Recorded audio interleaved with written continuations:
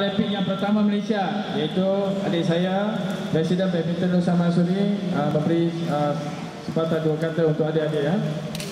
Silakan.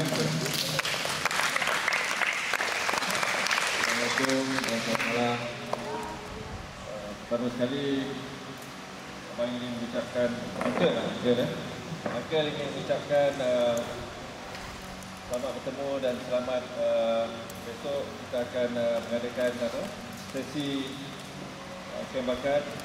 Pertama sekali. Uncle ingin mengucapkan terima kasih eh, Kepada Sukan Medan Sukan Kerana tanpa mereka maka dan pasukan apa ni Nusa Masuri tidak akan dapat bersama di sini ya. Apa yang Uncle ingin, ingin uh, katakan? Adik-adik semua harus eh, harus yakin dan harus bukan hanya yakin saja ya, harus uh, yakin diri daripada segi apa yang adik-adik ada di sini. Yang mana tanpa Kementerian Beda Sukan adik-adik takkan dapat berada di sini. Dan inilah peluang adik-adik uh, ingin menunjukkan apa yang adik ada bakat-bakat adik.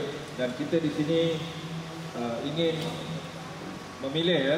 Siapa-siapa yang terbaik yang mana yang boleh kita serap ke sekolah sukan Bukit Jalil. Kerana kalau tidak uh, Abang Roslin ada di sini yang mana dia yang akan menjaga di sekolah Bukit Jalil daripada tingkatan satu.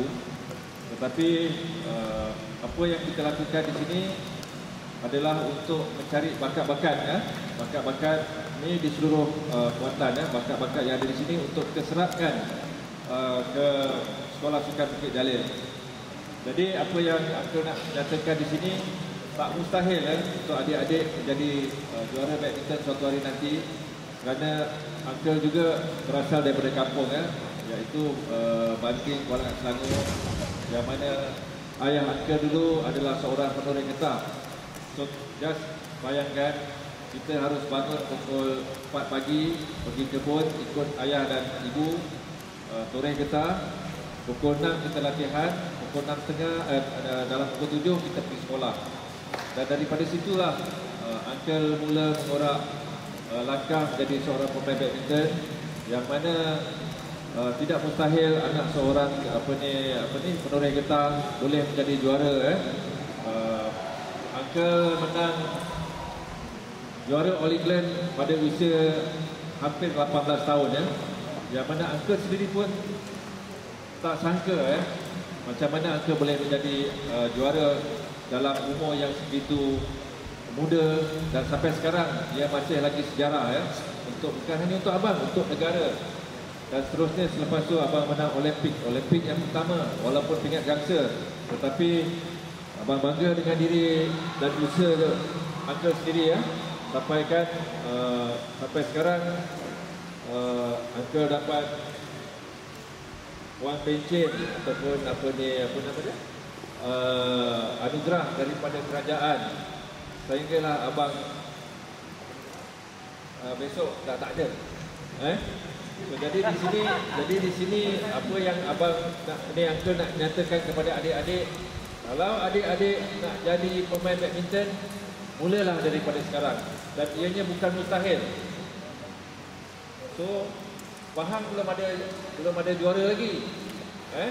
So buktikanlah ya. Adik-adik yang ada di sini. Jadi dengan apa yang besok uh, Datuk Misbun saya pun bersyukur uh, Datuk Misbun dapat datang.